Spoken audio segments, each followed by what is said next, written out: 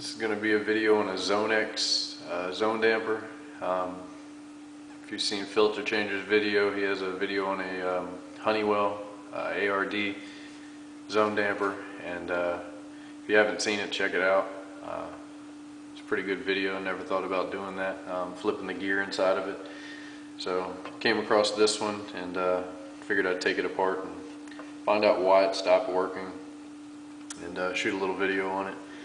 This is a, like I said, it's a Zonex. Uh, it's a TR16. 16 is for a 16 inch round. Sorry for the echo. Uh, I'm in my garage. Uh, this was manufactured date code 2007. Um, has a little control board on here. Basically, its only purpose is for that little red LED on there. Um, that light comes on when the damper is being powered closed or is closed. Uh, kind of like a little dummy light. Doesn't have the green light like some do when it's open, just a red light for telling you when it's got power when it's closed. Um, but it's a two wire damper, power closed, spring open. This is the spring um, that opens the damper when it doesn't have power going to it. Uh, pretty much the same as the Honeywell, um, just designed a little different. This is the motor. Um, I have the cover taken off the outside of it. Um, I had to cut this panel off so you can actually get inside of it. All of this is, is encased in the motor. Um, but this damper, it was overheating a section of the customer's house. Sometimes it was working properly, sometimes it wasn't. Um, so I figured I'd take it apart and see why it was not working properly. Um, I have it hooked up right now to a uh, little trainer that I have built over here. There's a transformer over there. Um, that's for another video. I haven't finished it, but um, using the transformer on that to power this motor. Go ahead and turn the power on, and uh, you can see the gears moving. This little T-shaped shaft on the top of it is what closes the damper. It attaches to the to the shaft of the damper. Um, as you can see, it's working right now. Um, it gets to a certain point where it'll actually stop. Without the damper connected to it, this motor should just spin and spin and spin. There's nothing to stop it. Um, hopefully it will stop so I can show you what I'm talking about. We'll see how that goes on video. Um, and like I said, sometimes it would work, sometimes it wouldn't. You can see the teeth right there on this top gear are uh, chewed up a little bit.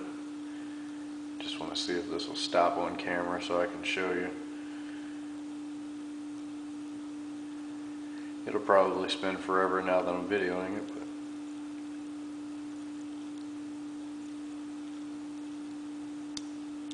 But It's making some funny noises. There it goes. You can actually see, oh, it's trying to grab. It grabbed. Alright, but it did stop for a second. Let me turn the power off real quick and I'll show you why.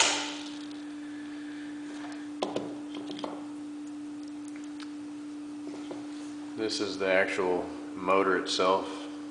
Camera focus. Got that little gear right there. Um, that's what's that's what the motor spins. It actually lines up into this hole. Um, I can get some light on it.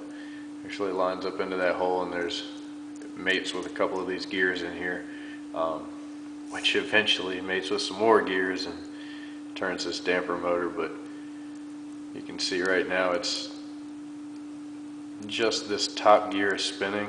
None of the other gears are. You can hear it every once in a while. It tries to grab. There's a small gear inside of here that's actually missing a tooth completely. And um, on this gear up here, you can see, hopefully you can see, right there it's missing a tooth. Um, the other teeth on there pretty smashed right in that section.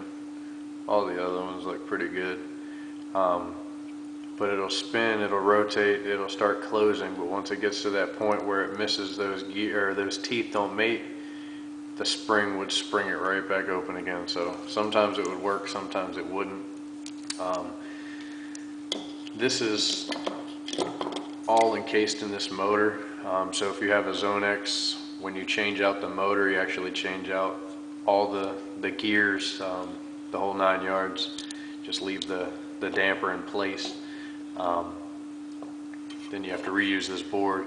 I have the board and everything because I'm not a big fan of Zonex, uh, so we actually went back in with a Honeywell. Um, A lot less working parts than this. It looks like this is put together pretty well, um, but there's a whole lot of working parts inside of here. Um, The more parts you have, the, the more chance of failure, I guess you would say. The Honeywell is a lot more simple, a lot less to it, um, does the same exact thing. Um, But like I said, I had this one, so I figured I'd take it apart and see. Um, But similar problem is why the Honeywells fail if the gear gets stripped out. Um, But like I said, on this one, these gears and everything come inside the motor, so if you have to, you can just change the motor, but my personal opinion, I'd put in a Honeywell and be done with it.